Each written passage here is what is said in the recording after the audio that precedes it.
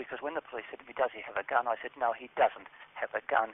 They said, does he have any other weapons? I said, he lives in a house. I suppose there's knives and forks and normal ut- utilities. But I said, I don't think he's got any weapons.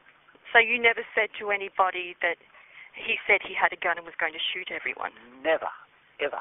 Never said that to anyone? Never. I wouldn't Take her out, please. You are not staying in here while we're bringing him out, okay? I tell you that now. You are not staying in here while we're doing this. Because one, I've got to staying think of your safety, okay? One, I've got to think of your safety. Do you understand that? Go. Come on, Angie. Look, let's Go, go. go, go, go, go, go. Come on. Come on, Angie. He's a very serious man. Yes, I know he's a serious man, and that's why I'm doing this. No, you're not going to make a f- film of it, reporter, because that's what he wants. That makes him feel bigger. And he's got to feel that he doesn't run the world. I, no, I can go in there. No, no, I, No, I over there.